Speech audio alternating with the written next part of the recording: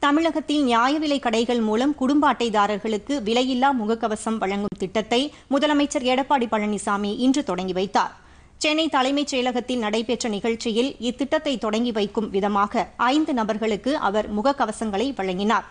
வருவாய் மற்றும் பேரிடர் மேலாண்மை துறை சார்பில் முதற்கட்டமாக பெருநகர சென்னை மாநகராட்சி தவிர பேரூராட்சிகள் நகராட்சிகள் மற்றும் மாநகராட்சி பகுதிகளில் வசிக்கும் அறுபத்தொன்பது லட்சத்து ஒன்பதாயிரம் குடும்பங்களுக்கு நான்கு கோடியே நாற்பத்தி நான்கு லட்சம் முகக்கவசங்கள் வழங்கப்பட உள்ளன.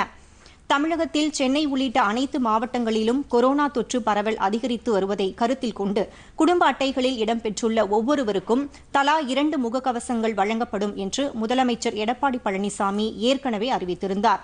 மாநிலத்தில் உள்ள இரண்டு கோடியே எட்டாயிரம் குடும்ப அட்டைதாரர்களின் ஆறு கோடியே எழுபத்து நான்கு லட்சம் குடும்ப உறுப்பினர்கள் ஒவ்வொருவருக்கும் தலா இரண்டு விலையில்லா தரமான மறு பயன்பாட்டு முகக்கவசங்கள் அரசு சார்பில் வழங்கப்பட உள்ளன.